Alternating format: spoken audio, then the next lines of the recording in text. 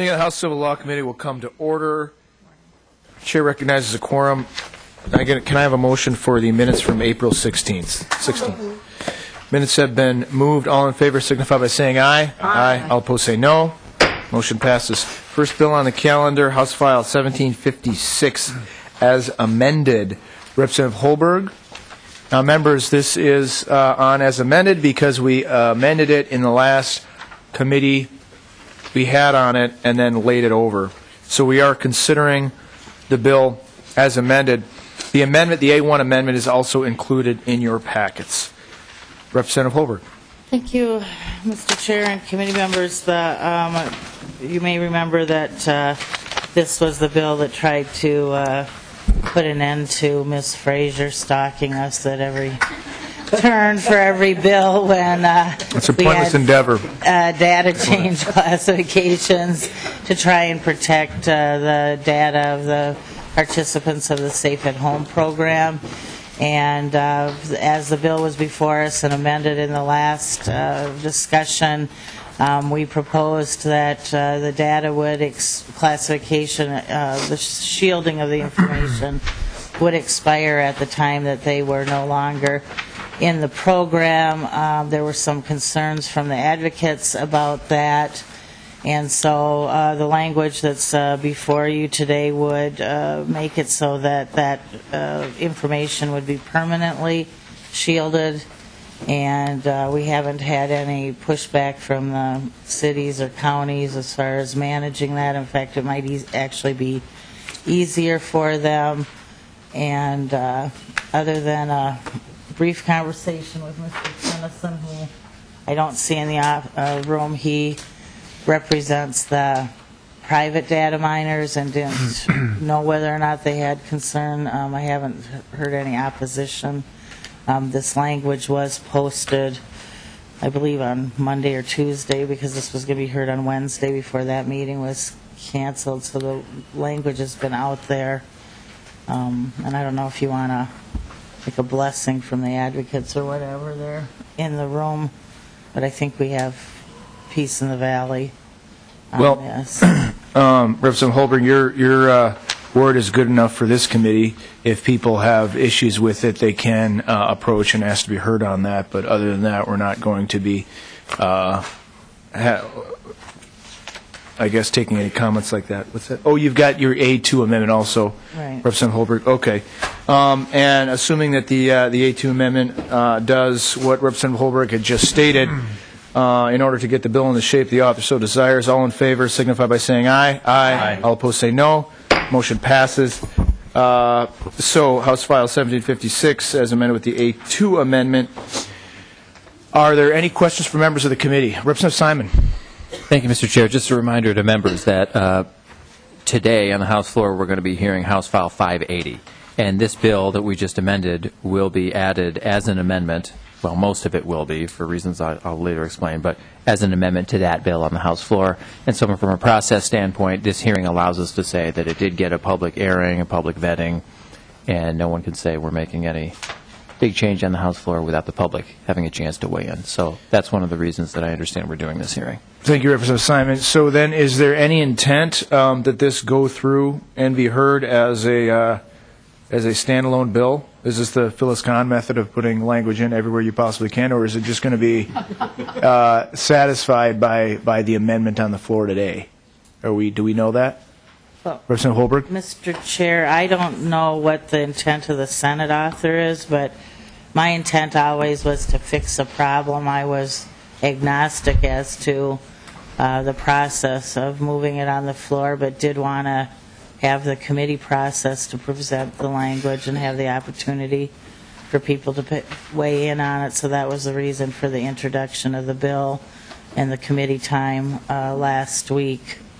Uh, So, I mean, it's up to you whether or not you want to move this. It's not, I, I think if everything goes okay, I hear Mr. Tennyson walked in the room, but um, I'm completely uh, uh, happy with putting the amendment on Representative Simon's uh, Safe at Home bill today and having it move. Okay, that way. thank you. Then, uh, Representative Holberg, uh, I will just ask, is there any members of the audience that have an absolute burning desire that they must be heard on this?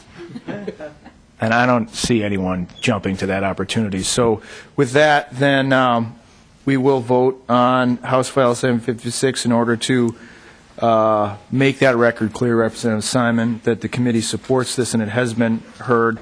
Um, Representative Holberg renews her motion that House File 1756 as amended be recommended to pass and be re-referred to the Committee on Rules. All in favor signify by saying aye. Aye. All opposed say no. Motion passes. Thank you, Representative Holberg, for your work with this, and thank you uh, to the advocates uh, also on both sides for, for doing the work that you have done on this in order to get it in shape. Next uh, matter on the calendar is House File 1802, Representative Norton.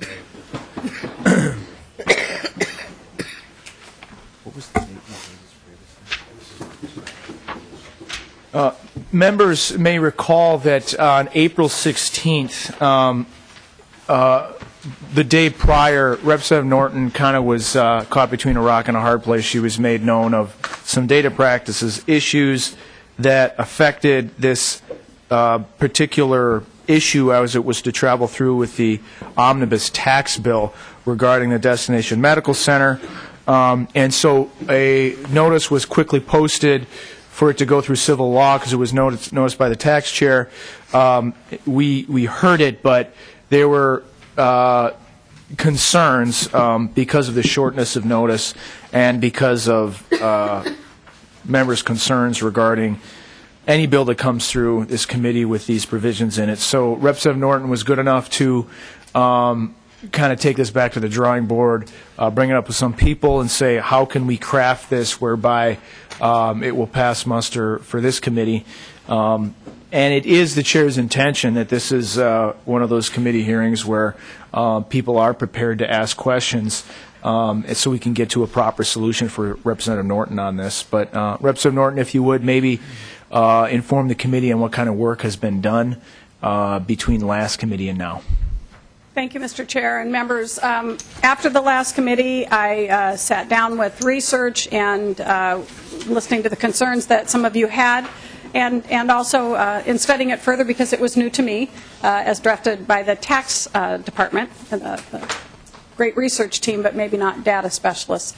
So um, they were trying to address the issues that uh, Mayo Clinic, the City of Rochester, and the Destination Medical Center concept had uh, with regard to donors, um, benefactors, people that might want to work with the, the Destination, Destination Medical Center Corporation um, and bring in some private dollars into the, to the mix. And how would we deal with that? And so uh, in listening to your comments, we went back to the drawing board and actually found in current law um, the section that's in the amendment before you, which is uh, identical to the treat, its language uh, we've just added uh, to the treatment of Minnesota Zoolog- Zoological Gardens, University of Minnesota, MnSCU, regional parks of the Foundation of the Twin Cities, and State Services for the Blind. Um, We've added ourselves to that provision. Um, It does protect in, I think, a reasonable way, at least one that's been acceptable to this body uh, and the state in the past, in protecting some private data, but also having um, some sun- sunshine on who those donors are. And then uh, the rest of the Destination Medical Center Corporation, as it is drafted in the uh, bill that passed off the House floor yesterday, actually, um, the rest of it is all open to the open meeting laws, subject to the open meeting laws. So um, I- we uh, brought uh, Ms. Crandall, who was here last time, but she also, uh, we were told to bring her data expert along, so um, we also have uh, some data expertise here as well, if you have other questions or concerns, or, Mr. Chair? Uh, Well, thank you, Representative Norton. Uh, So this was language that was offered in the tax committee, Um, and it was withdrawn tax committee in order for us to um, start this conversation here. And I know that you offered this with the intention of it, it kind of being a starting point for discussion, which is good as what we wanted, but um, we have questions from members. Uh, Representative Liebling? Thank you, Mr. Chair. I'm just a little confused about exactly what's before us, because what's in our packets is not what I thought this was going to be. And um, we've got House File 1802, and I thought there was an amendment, and this is not what I had seen before. So could you just, I don't know if I'm missing some piece of paper here that I should have, or? You're, you know, um, so here's what happened, and, and if I can, someone maybe correct me if I have this wrong, but, uh, originally on April 16th, language was offered, uh, excluding the DMC from Chapter 13. Uh, and there were concerns raised at that in committee. After that, the tax, tax committee was, was the, ne- the next day that we were doing markup on the omnibus tax bill. Um, and so Representative Norton wanted to get something in there, uh, and so she offered this language, um, saying that the DMC would be included under private donor gift data exclusions under 13.792, which includes the, the new zoo, the U, uh, MnSCU. Uh, and uh, I, because this committee had not considered that language, I took it out in tax committee. Um, and so what we're looking at now is, uh, for the purposes of discussion, and if folks have ways to tweak this or another way we, we want to go, this is the time to do it. Um, it includes the DMC on that list, which would uh, treat that data in the same way as others. So uh, I know we'll get back to you because you're talking Representative Liebling. So Representative Simon? Well, Mr. Chair, I thought that the last hearing was very instructive. I think we got a lot of loud and clear um, testimony from members of this committee about some of their misgivings about the original approach. And I think in this version of House File 1802, we're seeing a reversal, a complete reversal of the presumption, which I think is this, a step in the right direction. It's what this committee seems to have wanted. Meaning, the other uh, bill basically said um, everything is private except and this says everything is public except. So on the first page of House File 1802, and, and this goes to what I believe was Representative Holberg's um, contention uh, in the first committee we had, where she said, I think literally, she said something like, look, uh, she can speak for herself better than I can, but she said something like, we have other entities that are, that, that are able to straddle this line perfectly well, the University of Minnesota, other public entities um, where there's a lot more sunshine. And sure enough, that's what Representative Norton has done here by just adding this new Destination Medical Center Corporation to the list of other organizations, including MnSCU, the University of Minnesota, the zoo, and others. And they do it this way as well. And the idea, as I understand it, is everything's public except, and you see the except in items one through five on page one of the bill, and it's things like their prospecting or fundraising lists or strategies or things like that. I don't think anyone, you know, I'm not particularly interested in knowing how the Minnesota Zoo plots to, you know, prospect donors, but we do want to know the name, the names of those donors when they come in. And so that was, I think, the compromise that Representative Norton tried to reach here after hearing the, the committee testimony. So I favor this approach. I think it's a, it's a good accommodation, and it, and it preserves in here the open meeting law application, of course. That was never an issue, but that's on page two of the bill. So th- I think that's really what's before us. And, and just to be clear, um, the parts that were amended out in tax committee did not include the open meeting law provisions. So under the omnibus tax bill that was passed, um, the DMC is uh, under is does follow the open meeting law, but it's it's this provision, the data privacy issue. Um, going back to Representative Liebling. Yeah, thank you, Mr. Chair. And, um, yeah, the staff that kind of explained to me, the reason I was confused is just because there's other language in here that's already been changed in other places. And um, so I was just a little confused about what was before us. But ab- absolutely, I, uh, yeah, I was, appreciated the chair's indulgence in letting us work this through and letting Representative Norton work this through. And, you know, I'm, I'm quite comfortable with what we're doing here in terms of data practices. I just had a confusion because there's other language in, in what's before us that, that's not applicable to what we're doing today. So thank you. Okay. Um, Other questions from members? Okay, and we have Representative Scott. Um, Before we go to Representative Scott, the, the one question I have as the chair, and I know that this was after the last committee, I think Representative Simon, you worked with Representative Norton on this, and maybe Representative Winkler, I can't remember who, but um, we appreciate your efforts on that, too. Um, Because I think it was, it was a good first step.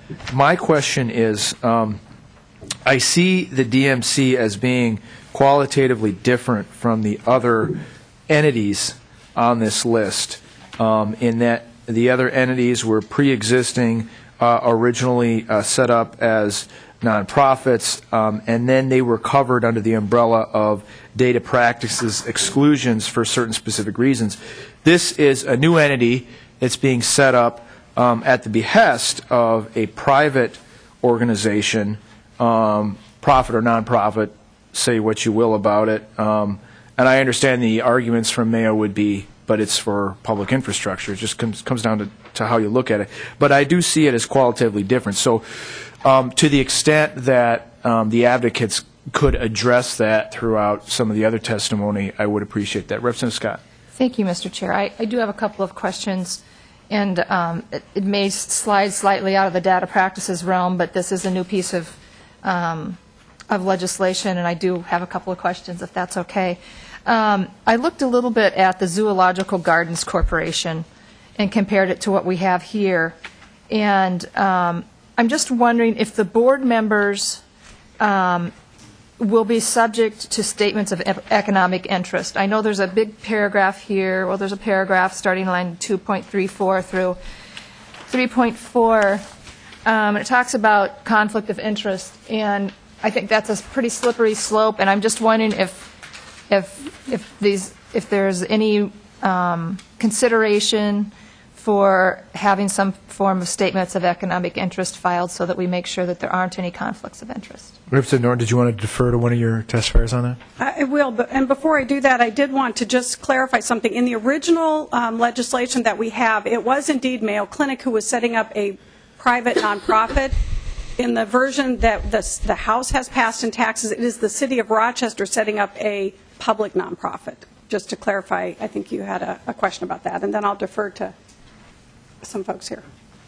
Um, Mr. Chair, excuse me, Representative Scott, um, my name is Lynette Slater Crandall, and I serve as uh, bond counsel and economic development counsel to Mayo Clinic, and um, would be happy to address the questions. Um, Again, in the original bill, um, as Representative Norton indicated, the structure was a little different. The um, DMC public body was actually a political subdivision of the state.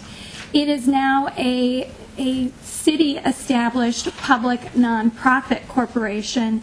And so uh, the only provisions that I'm aware of, other than Chapter thir- 317, uh, that would be applicable, I believe, would be specifically in the DMC Act. And so that's where the conflicts of interest language was added to ensure that, um, for example, uh, if there were a city council member or a county board member uh, who uh, were employed at Mayo Clinic, that that person would be precluded from serving on the board. Um, my understanding is that nonprofit corporations, um, as part of a best practices, and in our ability, for example, as a law firm, to give a uh, an unqualified 501c3 opinion, is that they actually also have to have their own conflicts of interest policies in place. And so that allows them to um, maintain their tax exempt status at the, at the federal level and the state level as well. So rather than being statutory, that would be something that, that they would put in place uh, as board members, is my understanding. Representative Scott. Thank you. And as far as the board members too, um, would spouses, uh, you know, they had, give a list of um, folks that are exempt from being board members. Would spouses of those people be eligible then to be on the board? Ms. Slater Crandall. Uh, Mr. Chair and Representative Scott, I don't see anything in subdivision five that would preclude that. Um, However, I'd be happy to research whether that's common, again, in conflicts of interest policies that are adopted by nonprofit boards.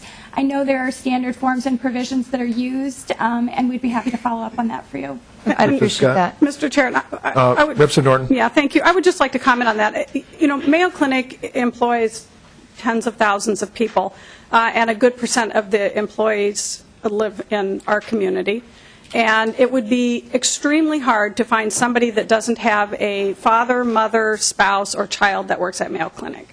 So um, I would just, you know, keep that in mind as you're, you're thinking this through. We, we definitely didn't want city council members, for instance, that were employees of Mayo to be serving on this board. We wanted to exempt them out. But I I think we, we start down a, a very dangerous path trying to find uh, a member in our community that doesn't have a fairly close relative that doesn't work with Mayo or in perhaps even one of the businesses that might be affected. It- That's our community, so. Well, if I could, Representative Norton, that's part of the rub in this whole situation. If Rochester is a company town, then um, normally it's the company that takes care of this stuff. And in this case, it's the company uh, wanting to perform certain actions under the guise of state authority, uh, which I think many people are willing to do because Mayo is valued. Uh, but normally in those situations, they would do it on their own. Um, and now doing it through the, uh, the conduit of state, uh, state authority, there's all these other factors that come in uh, because people get nervous about whether or not it sets a precedent. Um, so that, that will be my ongoing concern. But Representative Scott, or did you want to respond to that, Ms. Slater Crandall? Mr. Chair, if I might, um, if I could just um, remind members that even though the structure of the DMC Corporation is that of a public nonprofit corporation, what it really is, is similar to any other economic development authority that you might have in your community, an HRA, an EDA, or a port authority. And so the projects that it will be undertaking are the same. Um, We're talking about public infrastructure, streets, sewers, traffic lights, um, land acquisition, uh, site remediation, those types of things. But um, we actually have a chart that we've prepared, and it shows exactly how the powers and the projects that can be undertaken uh, by the DMC uh, match up with other, uh, again, similar entities in the state of Minnesota. So none of the funding will be going directly to Mayo Clinic to build any structure that Mayo Clinic will be building. That's the the um, three and a half billion dollar private investment that's been discussed. Mayo will be building its own buildings, but to the extent that additional infrastructure uh, that would be owned by the city or the DMC corporation would be necessary to facilitate that private investment as well as other private investment. We anticipate biomedical research, uh, office parks, new hotels, new restaurants, um, other facilities that would be funded with private investment. The DMC dollars, the public dollars, and the city and the county dollars will be spent on the public infrastructure. Ms. Slater Crandall, thank you for that. I, I think probably a lot of members of the committee understand that, but we're sort of dancing around uh, a fiction here, um, and that's not a pejorative term. Uh, it's being created for this specific purpose. Is if Mayo, this is absolutely at the at the behest of Mayo. I don't think anyone um, is going to dispute that, um, and and I don't think people in particular have a problem with that. Um, but in this case, um, Mayo now wants, I mean, they, there, there is a port authority or a economic development authority in Rochester. Why couldn't that have been used? Well, I can tell you. Representative Norton. Mr. Chair, uh, the, the focus of the Destination Medical Center is on a very specific purpose, not citywide, not countywide, which is what our Economic Development uh, Corporation focuses on. This is focused on a very narrow um, uh, topic, and you know that's the primary uh, difference. This will be focused on the Destination Medical Center uh, area and its particular projects, not not economic development broadly. Ms. Slater Crandall, why was the decision made to, to change this from a uh, private nonprofit entity to uh, a, a public entity? Or I don't know who, someone said that that was changed. Maybe that was you, Representative Norton. That- The tax committee did that.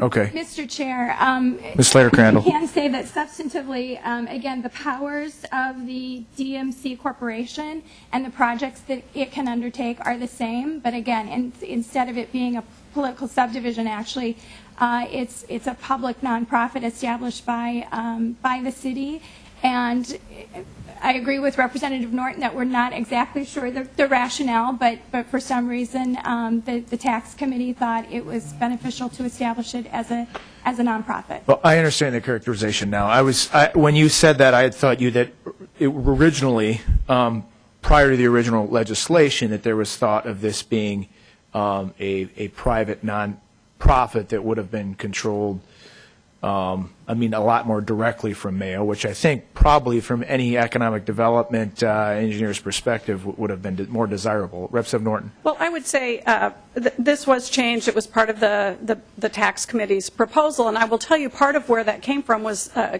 constituents in Rochester. The tax chair came to Rochester to uh, several hundred people in a, in a room and heard their concerns, and their concerns were some of the same concerns that you have is oversight. This is state money, and it will be a considerable amount of city and county tax dollars, and they wanted to make sure that the city and county and elected officials had control over that, those funds and not a private entity.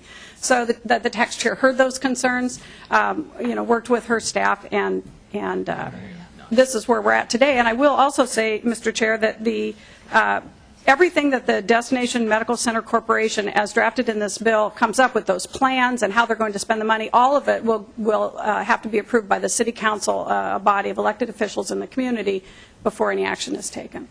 Thank you. Representative Scott? Thank thank you, Mr. Chair. And as I was reading again with the Zoological Gardens Corporation, I noticed that um, their officers, directors, and employees were all state employees. Is that going to be the case with this entity? Ms. Slater Crandall?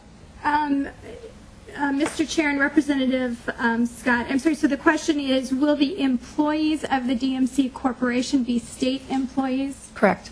Um, I am not aware that that will be the case. Um, Again, they would be employees of the public nonprofit corporation, and so is it a question of of benefits or other rights or obligations of state employees that you would be questioning?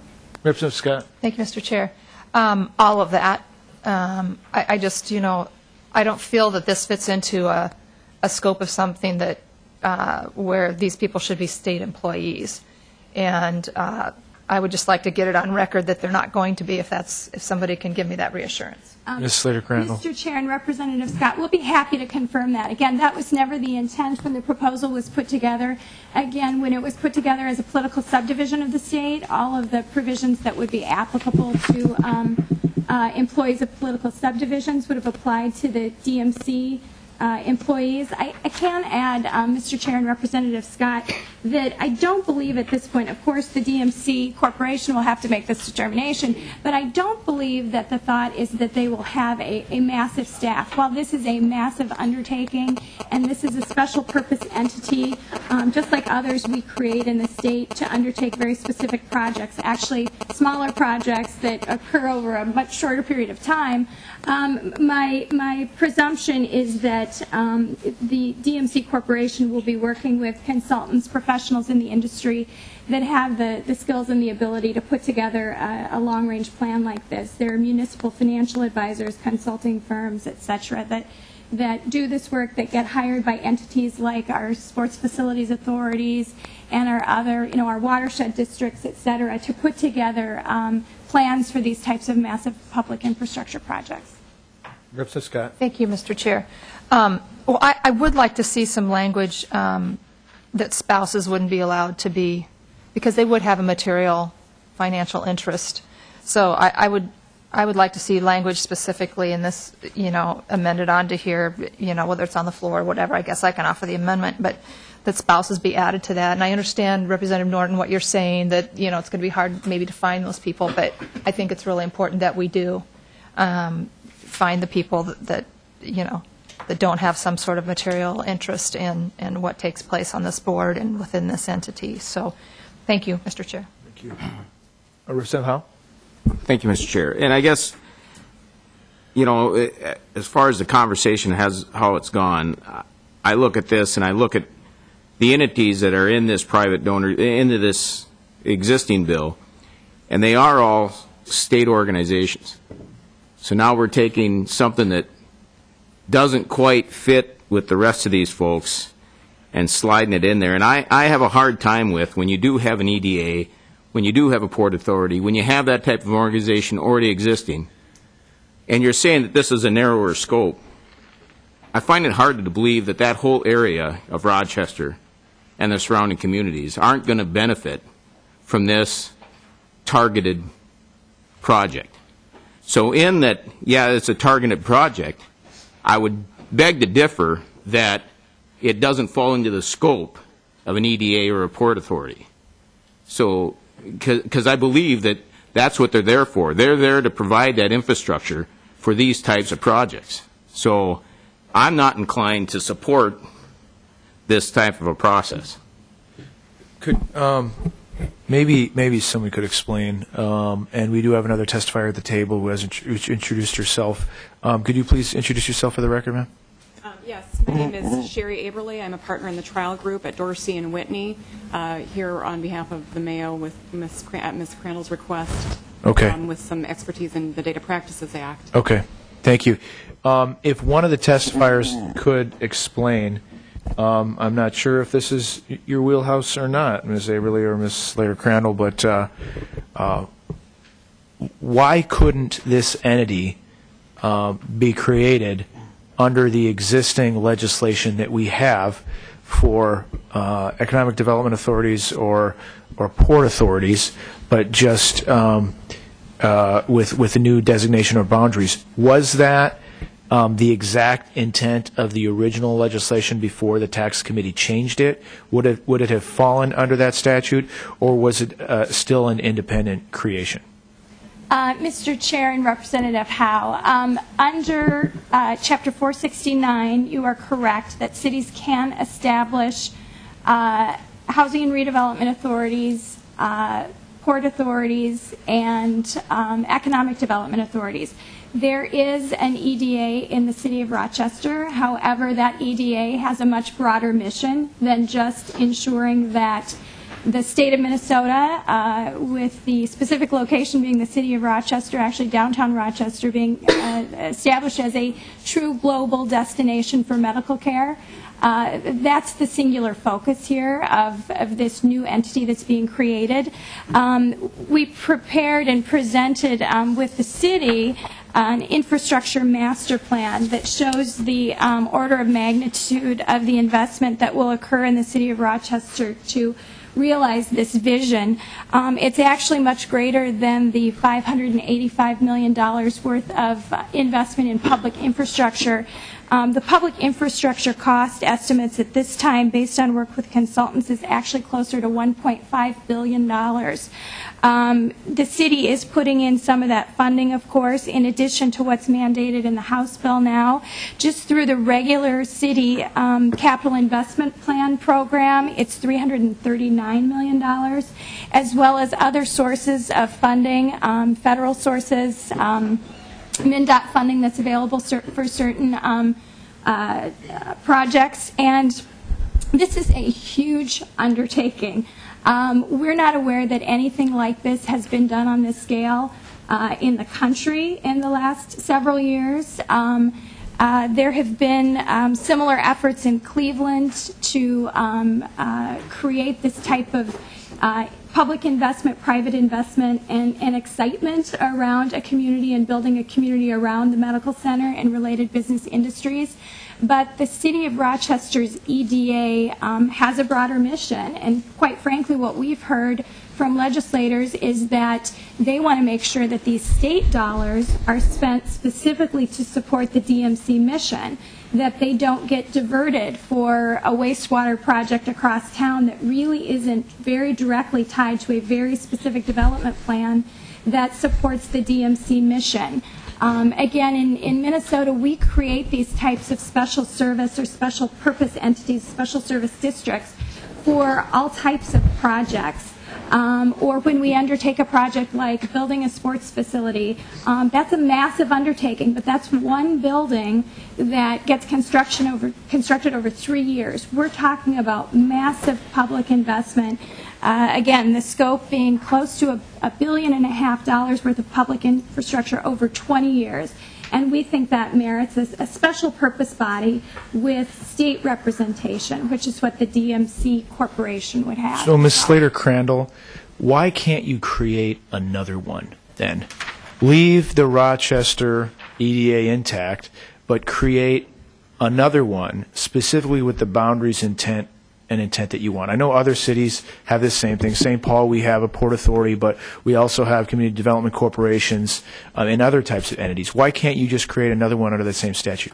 Uh, Mr. Chair and, and Representative Howe, again, because the, the powers, while, while they line up and, and the project costs are similar, um, there's not the, the, the specific focus of, um, of the DMC initiative and the ability to really um, tailor it that narrowly to a specific focus. So, for example, with a, a housing and redevelopment authority, uh, development plans with certain um, findings need to be made. We have set up a separate set of findings. We've tried to mirror that in every way we can, that it's a development plan that's adopted after a public hearing, that gets approved by the city for consistency with its comprehensive plan. But there are enough differences that the existing rules um, would be too constraining, I believe, to, to establish this type of entity for this purpose.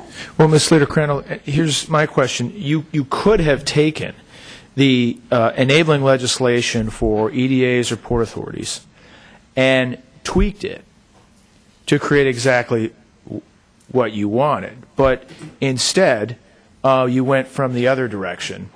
Um, and now we're trying to kind of patch those taxpayer protections and citizen protections on top of this. And I'm wondering why you didn't start from the side that said, okay, this is uh, this is a CDC or an EDA or a port authority or something, but it's within these boundaries and for this purpose. Why didn't you do that? Mr. Chair, um, I actually feel that is what we did. Um, We actually started with the Port Port Authority Act, and I joke with, um, with our author and our, our entire team that's worked on this project, including the city, that there wasn't a lot of original drafting here. We started with, I, I literally did a cut and paste of the Port Authority Act and tweaked that. So essentially what we have is what's in 469 for a port authority, and with certain changes, um, again, tailoring it to the DMC mission and, and goals um, to, to essentially look like a political subdivision of the state, just like a port authority. Um, what the House uh, did in, in their amendments was to actually call it a city-established public nonprofit corporation. Um, And whether you view that as a distinction without a difference or not, um, I I think is up to you. But again, the powers and the projects are still the same. So if you look at how the entity lines up with a port authority, that's that's exactly where we started with this legislation. Okay. okay. Uh, other questions or somehow? Uh, No, Mr. Chair, I think you went down where I was going, so thank you. Thank you. Representative Scott? Um, Thank you, Mr. Chair. And This is hopefully a data question so that you didn't make a wasted trip over here. Um, If a group of people who don't want their names to be listed as donors for this, if they form like an LLC or something and donate in the name of the LLC, will that be allowable? There's a couple of decisions that have been Ms. reached. Averly, sir. Oh, sorry, Sherry Aberly, um, Madam Chair. Um, There are a couple of decisions that have addressed this, and we were looking very closely at uh, things that were analogous to that situation. And our understanding is, and of course, it would depend to some extent on uh, contractual language and those sorts of things, but I think the expectation, the understanding based on decisions that have been reached by the Minnesota Court of Appeals and IPAD are that those names would be disclosed, notwithstanding donors' desire to have their names withheld and be anonymous. Thank you. Representative Scott? Okay. Um, so on that line, Ms. Averly, uh, what exactly then would be disclosed under the current uh, proposal? Well, under the current proposal, um, it is the information, it's exactly what you have in the statute. It exempts out certain data, and that is the intention. So you would have um, names of donors and the gift ranges that become public data, but then the other information would remain private, such that uh, that information would not be disclosed to the public. And that is, I think, one of the questions that you raised earlier, suggesting a distinction between the entities that are already listed and this authority. Uh, The thing that makes them very similar is that, unlike some of the other entities that you've been discussing today, this is an entity that will garner um, a lot of private donations, a lot of private donations that will be an- essential and necessary for the project that will ultimately benefit the public over time. And so that is why it's important to have the, uh, the entity added. So, Ms. Averly, then, for the, the names and the levels of gifts, are you just going to have um, a name and then the range being from $5 to 10 million? Or how many levels would you have? I don't know how they will set that up ultimately, and, and Ms. Crandall may have a better idea of what the levels that will be. Ms. Crandall? Um, Mr. Chair, um, I- I note that in the existing law, it simply provides for gift ranges without any parameters for for bracketing. Um, I certainly don't think that would be the intent of of the DMC Corporation to to do so, and I presume if they tried to do something like that, that this body would decide that that would not be acceptable, that the data would somehow have to be meaningful. But there's certainly no guidance currently in um, Section 13.792 that specifies what the ranges have to be. Okay. And Uh, Mr. Chair, if I could just add. to Ms. that- Averly? If I could just add to that, I think there's typically, I mean, if you look at the disclosures made by many other nonprofits, there are kind of common gift ranges that you would find there um, that have, that are acceptable, and- and probably similarly looking to how the Minnesota Zoo, MnSCU, and those sorts of entities disclose that information would provide appropriate guidance. So can you testify today um, that that would be um, what we would likely see? Because, um, as you stated, uh, Ms. Crandall, that this committee might have problems with it, but we're considering it right now without knowing. So, Ms. Crandall? Mr. Chair, I could, I could tell you with complete confidence that if I were engaged by the DMC Corporation to advise them on um, this data practices issue, with the advice of, of my partner, Ms. Aberly here, uh, I think we would suggest ranges, again, that are customary in the nonprofit community. When you get the annual report, um, giving report of some of your favorite charities that you give to, you'll, you'll see, I think, again, common um, bands of, of giving, and, and we would certainly suggest that, that uh, we look at a, a, a norm of what's common in the industry and, and suggest that to the DMC Corporation. Thank you. Mr. Mr. Ms. Crandall? I, I might just add to, um, I, I know one thing that this, um, th- this committee's kind of touched on today with a couple of the members' questions is again, the similarity of the DMC Corporation to these other entities that are listed in 13.792. Um, I work with cities and counties all across the state and, and in other states in the country as well. And one thing that is really unique about this initiative is that even though it's a public body, um, public bodies aren't usually um, finding themselves in a situation where they have uh, a potential donor base excited about uh, the projects that they're undertaking, um, building the streets and the sewers and all the important things that my governmental clients do.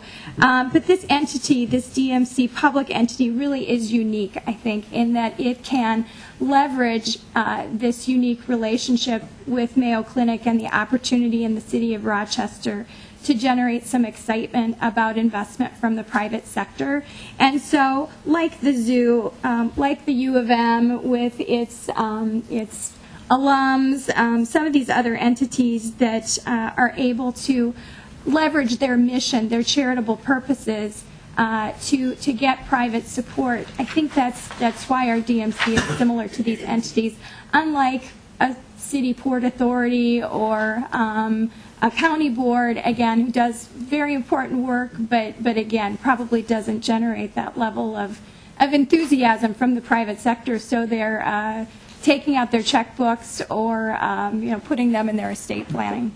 Ms. Crandall, none of the other entities uh, on this list, under 13792, um, had come to the legislature and said, um, we need, well, the original request was, would have been a billion dollars over, over 30 years for a $3.5 billion investment.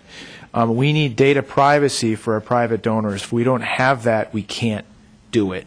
We can't build the U, we can't build the zoo, we can't, well, now I understand those are old before data privacy laws. However, um, this is a very different situation.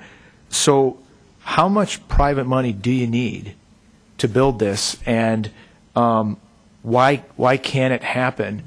What money are you not going to get that makes it impossible to do this deal uh, if we don't pass this, and how much will it be? Um, Mr. Chair, um, I, I can't give you a specific dollar amount, but what I can tell you is that in the research that's been conducted over the last two and a half years, um, an ability to leverage private donations has been identified. I can tell you that in the infrastructure, uh, public infrastructure plan uh, that was put together with the city that I referenced, which was provided to the tax committee, uh, there is actually a funding gap of 155 um, $155 million that is unfunded at this point over the 20-year plan. Um, Costs will change. This is just an estimate intended to be an order of magnitude. But to be quite honest, I don't know why the state of Minnesota or the city of Rochester would want to leave the possibility of, of one dime uh, not going into this project if it might be available on the table. And so, again, while I can't tell you that there are firm commitments out there, the, the research that's been conducted has, has shown that there's an opportunity. It's not thousands of dollars, um, it's, it's millions of dollars. And again, I think uh, the the city, uh, our authors, and some other members that we've talked to have um, supported that ability to try to leverage private funds, and that will certainly be, I I think, uh, and it's listed in the legislation uh, as one of the undertakings of the DMC to go out and try to to garner this private investment. Okay, well, and thank you. Not a lot of people on this committee, I think, hang out and have coffee with individuals that can, that can write a $3 million check. But there are other folks who do. I'm sure they know the game plan better than us, hence, hence the questions. It's not, I think, relatively understood. Representative Holberg. Thank you, uh, Mr. Chair. And How are you funded so far? I mean, you have a logo, somebody's paying your salary, you're sponsoring activities um, at the yacht club in Chicago. Where- Where's this money coming from Ms. Crandall? now? Um, Mr. Chair uh, and Representative Holberg, um, I'm retained by Mayo Council. Um, uh, excuse me, Mayo, the Mayo Clinic. Uh, the City Council obviously has put staff and resources into this project. Um, uh, so those two entities on their own, the county has uh, time into this project as well. Um, so um, that is currently how, how the initiatives uh, are being funded.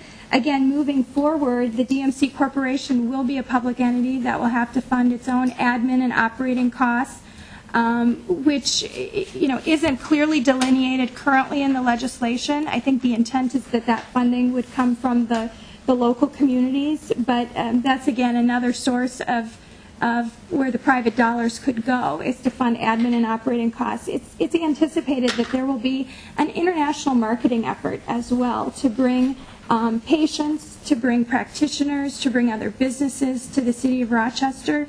And so um, those costs will all have to be funded um, somehow. And, and again, the private donor dollars would be one one source of that funding. Representative Holberg. Mr. Chair, do you, I mean, there's a logo out there. Is there, is there a structure that's the DMC now? Or is that logo just kind of hanging out there that somebody designed and we don't really have a DMC as of yet? Um, Ms. Crandall. Mr. Chair and Representative Holberg, um, right now, there is no formal entity that is the DMC. The DMC is the, um, the name under which the informal partnership between Mayo Clinic, the city, and the county um, have been operating, but there's no existing public or private structure, again, uh, Mayo Clinic, as an entity, again, has undertaken research and done its own strategic planning. Um, This is consistent with the city's master uh, development plan for the downtown district, but these, these three entities have been working together, but there, there is no corporate, uh, public or private entity that is essentially the DMC today. Representative Norton. I would just say uh, additionally, uh, DMC is a concept right now. The Destination Medical Center, we talk about it as a community or as a Destination Medical Center Corporation uh, at some point. That's what our hope is. Um, So so it is a philosophy that that is actually a public-private philosophy and a partnership in our community. So as Ms. Crandall mentioned, there's uh, the city, the county, the Mayo Clinic, there's also the Chamber of Commerce and citizens that are in- in- involved in this and supportive of it. So that, that concept is there. And in addition to that, uh, the, the community voted to extend our sales tax uh, last November, and in that was $20 million to go toward the Destination Medical Center effort. So that has already been voted on by the citizens of Rochester. Representative Holberg. Thank you, Mr. Chair. Uh, Representative Liebling. Thank you, Mr. Chair and, and members, and um, I really appreciate this discussion. This is very important because um, uh, I just want to sort of step back and, and say that, um, you know, we have really important interests here, and our challenge as a legislature is to figure out how do we balance these interests. And in this particular uh, project that we're talking about, we have to consider obviously Mayo Clinic's interest, which is where this um, began, because Mayo came to us saying that if they're going to continue to compete and uh, and continue to grow and continue to be the economic engine that they have been for the state, that they need us to participate in certain ways. But we also have the city's interest as as a city, as a public entity, and the citizens that um, Representative Norton and I and others represent, and their interests may be at times the same as Mayo's, and at times perhaps not. So there's important interest to be balanced. Thirdly, of course, there's a state's interest in all of this. So all of this governance, I'm so glad that this is getting a full airing and discussion because these are things that even Representative Norton and I, as much as we are concerned about Mayo's growth, continued growth and development, we are also trying to balance these things. So um, I'm saying this kind of off of some discussion that was had a while back here about um, uh, financial, about conflict of interest. Okay. Um, When we talk about conflict of interest, we're usually talking, I think, about somebody making decisions that are going to impact themselves personally, uh, usually their financial interest. I want to remind people, first of all, that Mayo employees are salaried employees. And so anybody who's an employee of Mayo or a family member of Mayo, however distant, is going to have an interest in Mayo and in how well Mayo does in the, in the simple way that any of us will have an interest in a business in our community. And I think that interest is the same interest that the state has. We all have a stake in Mayo's growth and development. Um, So I do think that when this project started off, and I, I, I think I'm going to be saying this for the first time publicly, I had some real concerns about the way it was structured. Because I felt that it was too much tilted toward Mayo's interest. Um, and, and to a very large degree, we share Mayo's interest as a city and as a state. But not entirely. I, I really feel that when we're talking about public funding, it's really important that we have appropriate control by public entities, and that we have, of course, transparency to the greatest degree possible, and that we have appropriate data practices. And so I'm kind of um, going back to Representative Scott's comment about, about spouses, and she's concerned about spouses. Um, It, when we, again, when we talk about who has an interest here, I think it's really important that, I'm, I'm not so worried about people representing Mayo's interest, what I, because we all do, in a large sense. If we weren't concerned about Mayo's interest, we wouldn't be hearing this proposal at all. I'm more concerned that we have people who are making decisions who can represent, appropriately represent the city's interest and the state's interest to the degree that those interests may be different at various times. Um, and and um, I think that may come down to a lot of this transparency issue, just to make sure that when we have donors, that those donors are not using their economic power to inappropriately benefit themselves in some of the development that gets done. So um, um, I guess I'm just, um, really, all this comes down to who gets to make the decisions in the end. And I think where we've gotten to with this proposal is one that is, um, although it's, it's been a little rough getting here, and, and I'm, I'm glad we have this extra real vetting today, because a lot of it comes down to who gets to make the ultimate decision. The way the bill is now, the city council gets to make the ultimate decision. And as all of you know, just because we're elected officials doesn't mean that we're free of conflict either. We all have our, we all come in from wherever we come from. But if we're going to go down this road, as we have in this legislature, of doing things as a state to help and benefit private entities, we're all going to have these concerns at one time or another. And I'm pretty comfortable right now with where we are with the proposal because it ultimately is under the decision-making authority of the city council. And um, so I, I just wanted to kind of put that out there for all of you and just to let you know that um, I really do appreciate the very thorough vetting that this proposal is getting today because the citizens of Rochester have a real interest in that and the entire state does as well. And I think that people are, um, in Rochester, some people may have been concerned that this was moving too quickly, and it did move very quickly. I think people understood the importance of this proposal, but we should never move so quickly that we um, forget the interests of the citizens of the state of Minnesota, especially when we're dealing with um, sometimes, as, as the chair mentioned, people who may be very much out of our league in their economic power. and that we keep control as a legislature of issues like transparency and ultimate decision-making, and make sure that the citizens of Minnesota are ultimately the ones who get to decide what happens with our economic development. So thanks for indulging me. Thank you for those comments, Representative Liebling, uh, as well. Um, I, I, too, part of my concern was the level of speed at which this moved. Um, And I think as far as the, uh, the one percenters in Minnesota, um, anyway, who are used to uh, moving at the speed of business, um, when all of a sudden they run into the speed of government, they see a very different thing. Unless, of course, you own a professional sports team, which takes uh, anywhere from seven to 25 years to, to get uh, a new stadium or some funding, as we've seen around here.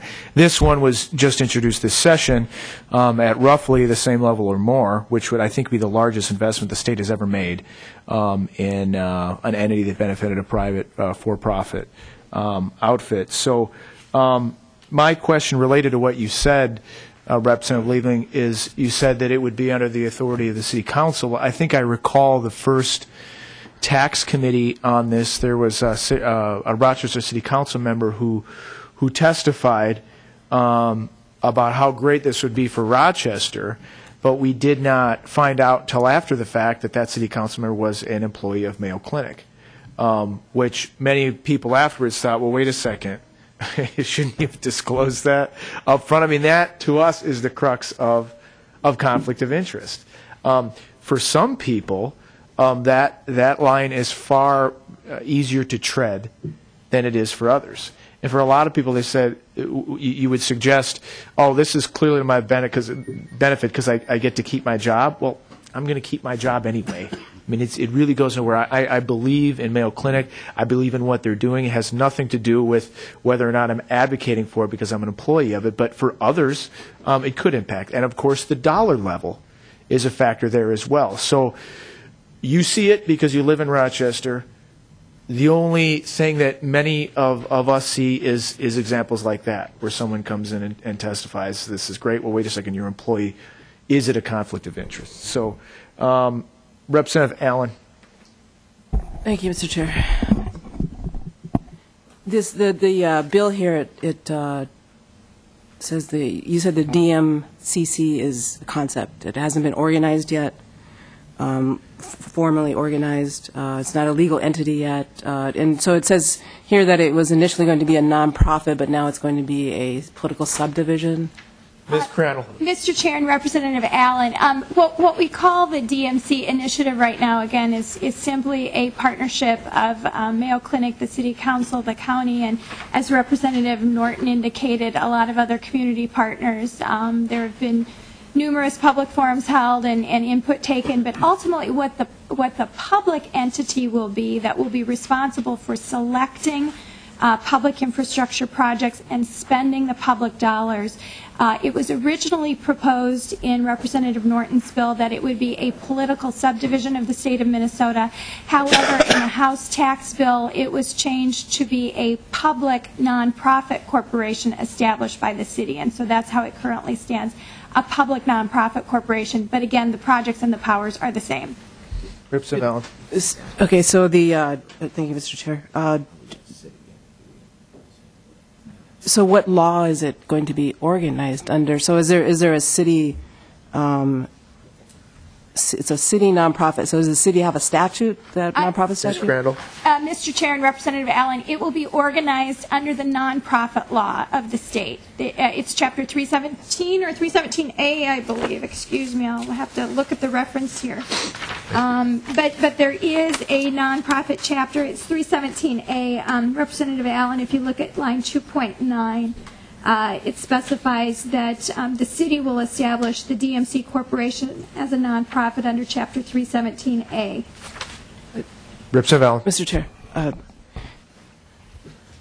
so, I mean, I understand the concern, the concern was that, okay, if you, if you were to organize this under, uh, as a municipality or some sort of uh, uh, political subdivision where it was a, it's similar to the city, where the city is constrained by, that it can only, it can, it can hold funds, uh, private funds, but that it can only expend those funds for a public purpose. And so then you have a, but then you you have a nonprofit here that is it, it, does a nonprofit then give you um, more flexibility as far as the purposes so that, that it will have, I mean, it's my understanding that it can be something much broader than, I mean, I mean, and maybe it's all public purpose, but, but it, but is, you know, with the corporation, um, you know, you'll, there'll be a fiduciary duty, um, and, and, and so, but, but, but as far as, you know, accepting discriminatory trusts or, or, um, expending it for, that may not necessarily be a public, I mean, it's, it's clear with municipalities under the law what is public expenditures, but I'm not certain it's so clear with a nonprofit. And so that, do you have the same protections? Are are you comfortable saying that, that the law governing nonprofits is going to impose as uh, stringent standards on what is public, what is a public expenditure versus a a municipality or a, Ms. Crandall? Uh, Mr. Chair and Representative Allen, um, because the, the powers and the, the um, projects that can be funded is not more expansive um, as, as the bill has been modified by the House, the entity structure is different. It's, it's my opinion that, that no, that, that the, um, the public funds would still need to be expended for public purposes consistent with um, other statutory constraints in the Minnesota Constitution. We're still talking about public dollars here from the general fund that have to be expended for a public purpose. And, and to be quite honest, again, I, I'm not certain why the, the House um, Tax Committee decided that the public nonprofit structure was preferable.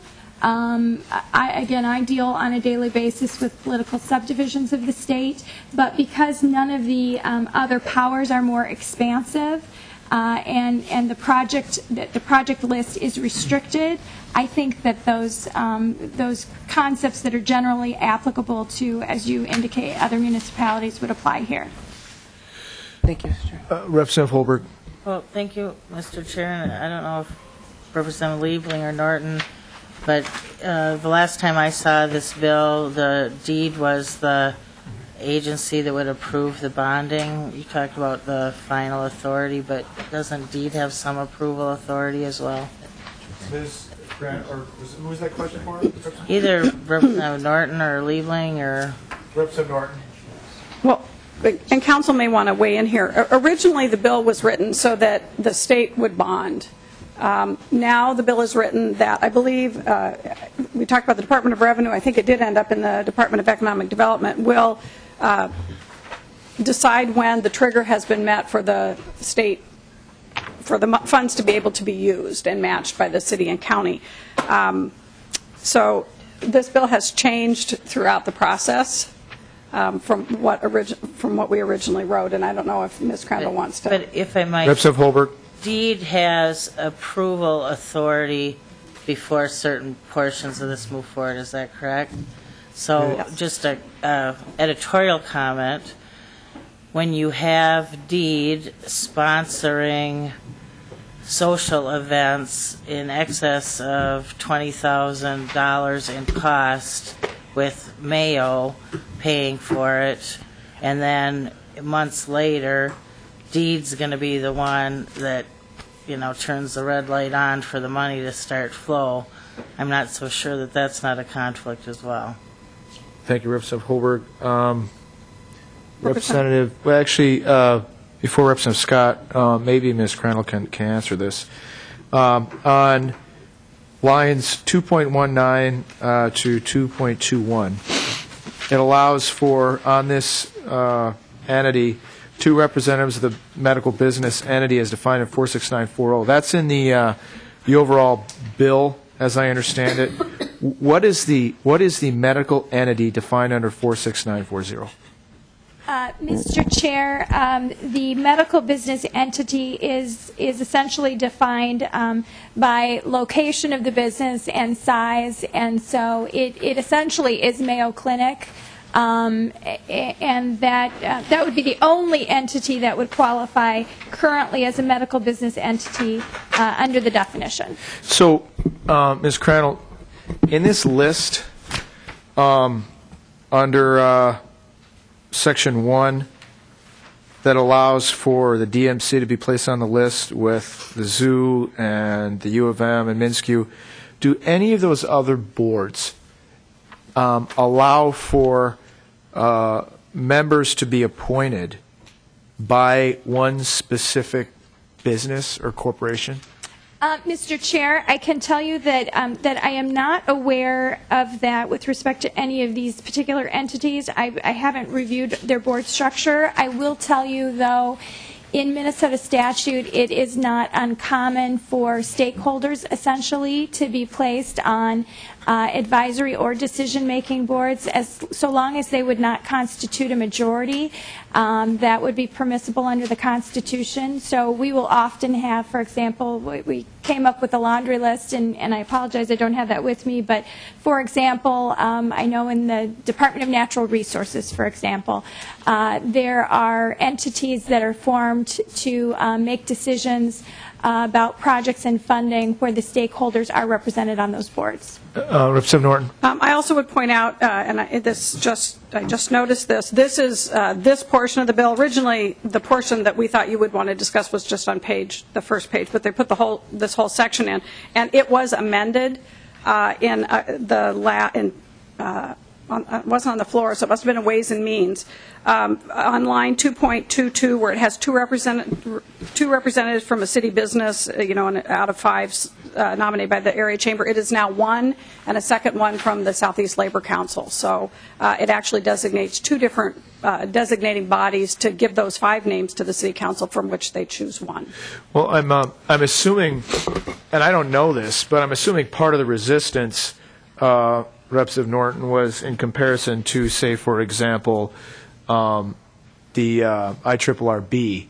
And I am not aware, uh, now that's, that's different because it's got its, its own commissioner, but are there any members of the IRRB, I don't have any rangers on this committee, I don't think, who, uh, who are appointed directly by mining interests or a specific mining company?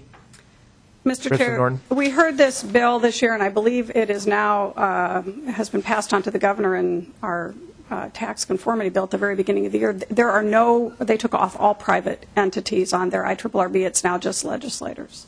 But, but there were, at one point, There were, and I don't know who made those decisions. There were three, I believe, three community members, business representatives. okay. Uh, Representative Scott? Thank you, Mr. Chair. Um, You mentioned that you would be, um, of course, uh, doing an international search for, for donations and those sorts of things, um, a drive for that.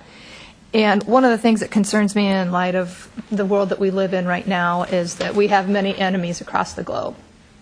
And I just wonder if there are any assurances, if there's anything, you know, I don't know if this is going to be written in the fine print somewhere, but I just want to be assured that, that folks that are enemies of our country um, are not going to be um, contributing to, to this, that we would make a pledge not to take money from those entities. Um, I, I just see, I guess I'll just let you answer that.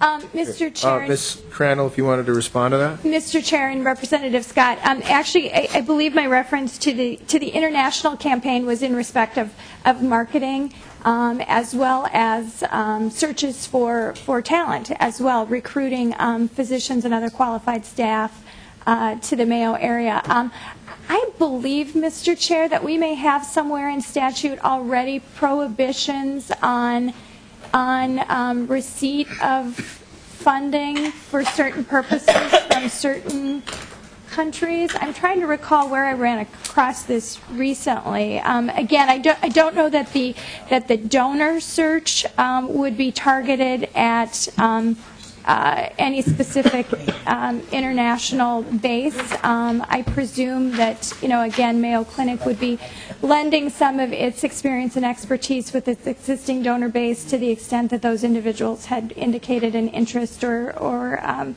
uh, some excitement around the DMC initiative. Um, but, but certainly, even as this um, exemption is um, is drafted, uh, the names would be available, and I presume then, um, you know, additional information could probably be obtained to the extent that it's it's readily available, um, otherwise publicly available.